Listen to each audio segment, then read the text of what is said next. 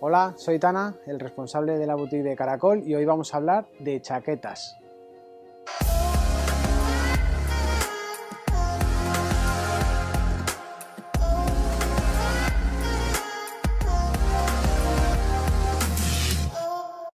A la hora de elegir una chaqueta tenemos que ver exactamente qué es lo que estamos buscando, porque el objetivo de la chaqueta es que nos mantenga secos y nos proteja de los agentes externos. La termicidad la tendremos que buscar en las características de la propia chaqueta. Unas serán más térmicas, otras serán más transpirables, incluso algunas llegan a ser impermeables.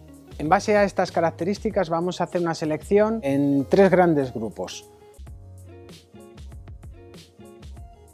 Grupo principal y la gran demandada por la mayoría de los usuarios tendríamos una chaqueta eh, con un recubrimiento de membrana en la parte delantera y en la parte trasera y en la que incorpora un relleno tipo polar de mayor o menor gramaje. Este sería la chaqueta de cualquier tipo de ciclista que salga a hacer eh, unas horas eh, con la grupeta y que los días que realmente hace frío.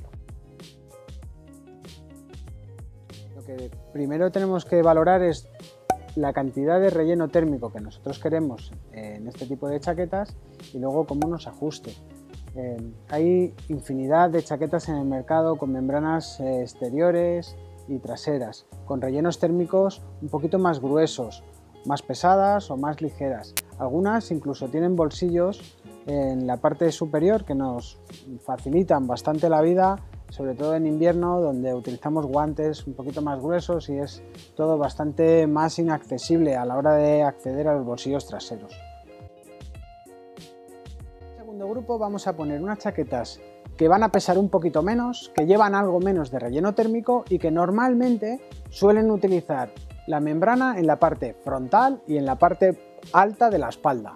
Y es una chaqueta que vamos a utilizar para dar un poquito más de ritmo a nuestras salidas. En este segundo grupo, donde las chaquetas son más ligeras, ya llevan algo menos de relleno térmico en las zonas interiores, va a primar más el calor corporal que nosotros generamos y sobre todo la zona de transpiración que tienen en las zonas de la espalda. En este caso la espalda, en este caso Cheondo nos propone una chaqueta con una transpiración en mangas, con un tejido propio, muy correcto, un formato tipo chaleco es donde ellos incorporan la parte de la membrana e incluso un poquito de membrana en la parte trasera.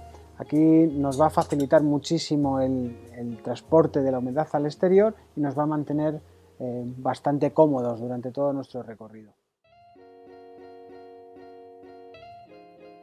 Y en el tercer grupo utilizaremos unas chaquetas mucho más ligeras donde lo que va a primar es el aislamiento del exterior al interior y trabajar mucho con el aporte térmico de nuestro propio cuerpo, favoreciendo la transpiración y haciendo que vayan muy pegadas a nuestro cuerpo.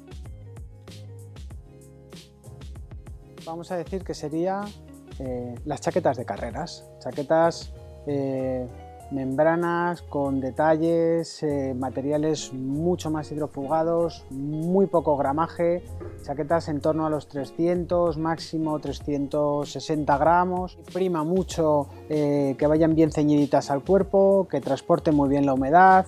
Este tipo de membranas en chaquetas de estas características suelen meternos zonas a aliviar eh, el sudor y mantenernos secos pero que son chaquetas que no generan absolutamente nada de calor. Son chaquetas que utilizan el calor corporal y eh, la transpiración y el cortavientos que utilizan a través de las membranas de Gore Infinium.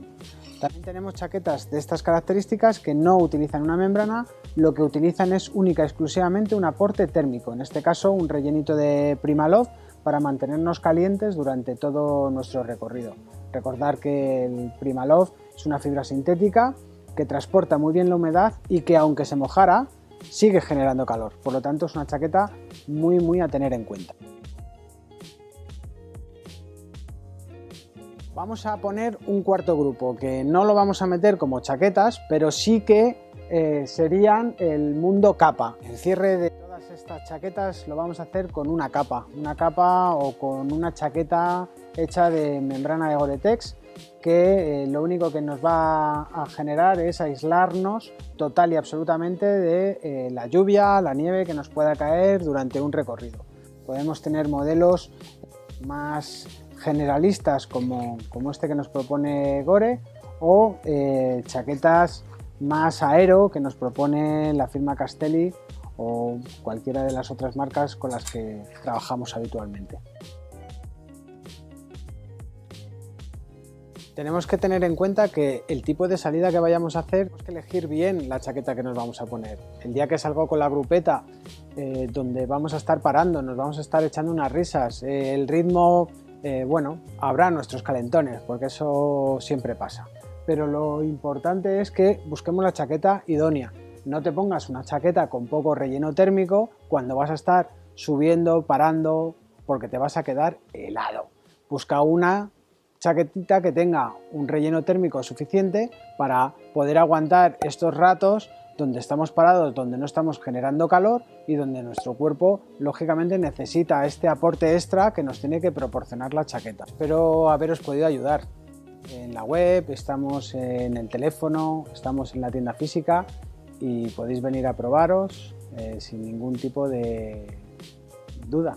Cumplimos con todo el protocolo COVID Nuestras instalaciones son suficientemente amplias como para que os sintáis cómodos y a gusto.